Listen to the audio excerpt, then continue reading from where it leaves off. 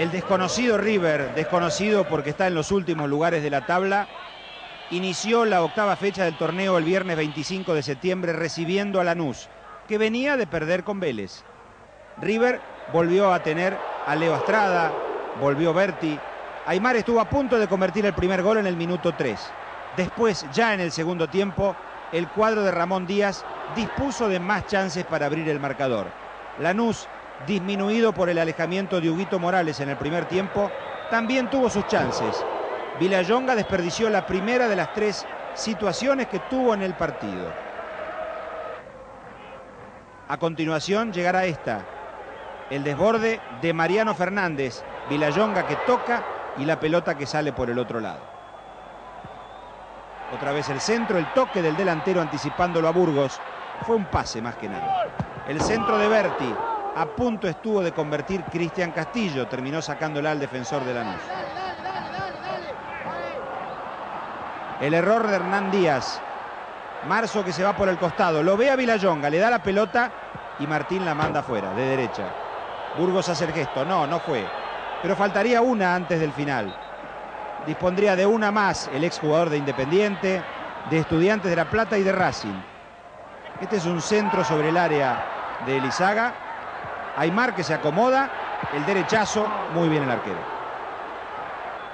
Cuando no faltaba nada para terminar la pared con Mariano Fernández y el gol de Vila Yonga y Lanús que volvía a ganar una vez más, lo ha hecho muchas veces en los 90 sobre River, un desconocido River, 1 a 0 en el Monumental la expulsión de Pedro Sarabia y el festejo de los hinchas granates.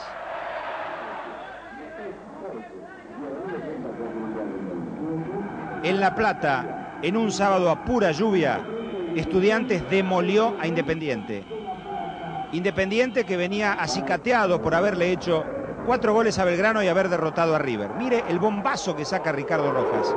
La pelota rosa al travesaño. Fue un aviso de este estudiante especial lamento de Patricio Hernández. Cardoso lo derribaban. El tiro de Farías a Mondragón se le escapa. La pelota estaba, por supuesto, muy mojada y sale al ladito del palo. Estudiante seguía llegando. Pier Simone se levanta. Lo tocan. Lo toca Milito. De nuevo penal. Sancionó muy bien Claudio Martín. De gran arbitraje en La Plata. Ahí está la falta. Y el penal que se va a encargar de convertir Rodolfo Cardoso. Con la cara interna del pie zurdo. 1 a 0. El décimo gol de Cardoso jugando oficialmente en el fútbol argentino. Estudiantes pasaba a ganar, algo que sería la constante durante todo el desarrollo del juego, por más cigarrillos que prenda César Menotti. Juan Fernández y ese remate, ¿cómo no entró la pelota? ¿Por qué? Nadie lo puede entender. Las chances de Independiente, revitalizado en ataque en el segundo tiempo por el ingreso de Claudio Graf. Llega esta jugada, la hace Galetti. Galetti tira y Mondragón se rehace para detener una situación neta de gol. Centro de Cardoso. Milito la manda al medio y Farías recibe el obsequio para convertir el segundo gol. El chico Ernesto Farías que no se puso nada nervioso ante la presencia de Mondragón. Centro de Cardoso y otra vez Farías de cabeza para estampar el 3 a 0. Sí, 3 a 0 le ganaba el muy buen equipo que es Estudiantes de La Plata a Independiente. Cardano a colocar, la pelota se fue muy cerca. Aquí Cuatrochi se lo saca de encima Graf y comete penal, ingenuamente. Ahí lo tira, el árbitro Martín cobra y Oscar Sánchez aminora la diferencia. 1-3, el gol de Boliviano, el octavo desde que juega en el fútbol argentino. Los estudiantes reclamaban que había amagado, no fue así. Un estupendo cabezazo de Asconzábal con Mondragón adelantado, ni Asconzábal lo puede creer. Le permite al cuadro de La Plata subir la cuenta a 4 y ganar el partido con un resultado para no olvidar.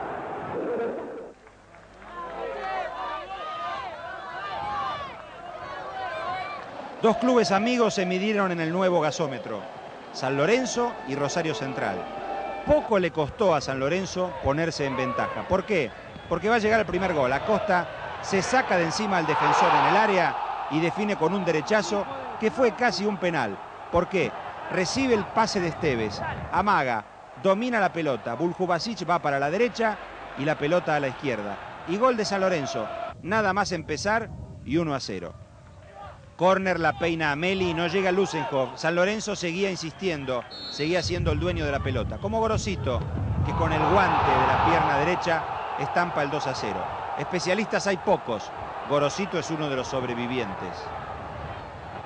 Central tuvo enseguida su chance, la desperdició Walter Gaitán, la pelota al ladito del palo. Una más para San Lorenzo. El remate, el rebote, Gorosito que la manda de cabeza y la chilena de Vespa contra su propio arco, al córner. Fíjese lo que pasa, Escoto patea, palo, espalda de Pacet y gol, mancha, piedra libre.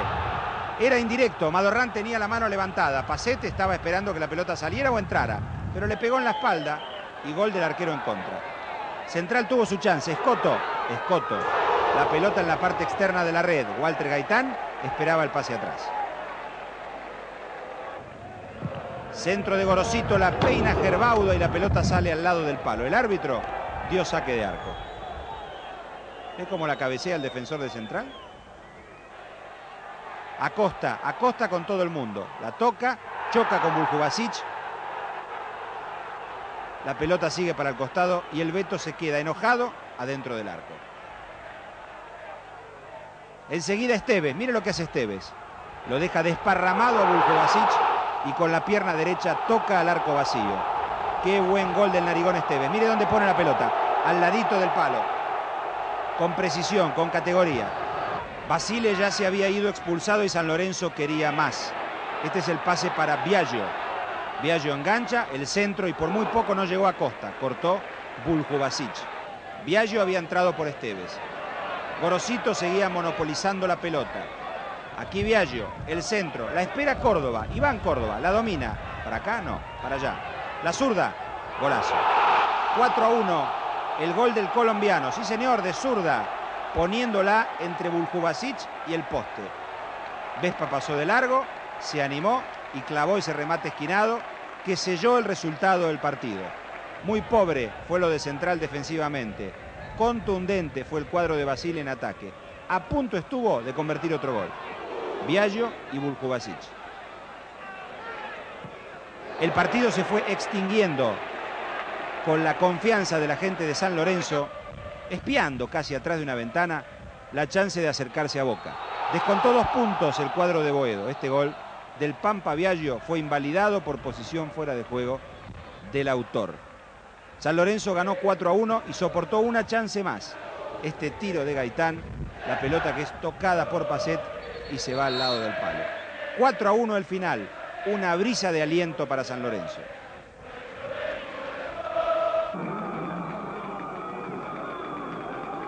En Ferro y con los valientes que desafiaron el frío y la lluvia, se presentó el Talleres Cordobés, enfrentando a Argentinos, que venía revitalizado después de ganarle a Huracán como visitante. Ahí está Quinteros. Quinteros la domina, la manda al medio y Pino le comete penal a Brizuela. Aníbal Hey no dudó. Fue clara la falta, lo tenía tomado al delantero paraguayo y el propio Brizuela, cinco penales, cinco goles para argentinos en el torneo Apertura, se encargó de establecer la primera diferencia. Cuenca eligió bien el palo pero no llegó. El tiro libre de Gorosito y el travesaño que lo salva a Argentinos. Pontiroli no podía hacer absolutamente nada. En el segundo tiempo, la llegada de Solana al centro atrás y Damián Faciuto, volviendo a su primer amor, define el partido. Quinteros no puede. Sí, Faciuto, la pelota rosa en la pierna de Andrés Cabrera y se mete en el arco. Ganó el bicho 2 a 0.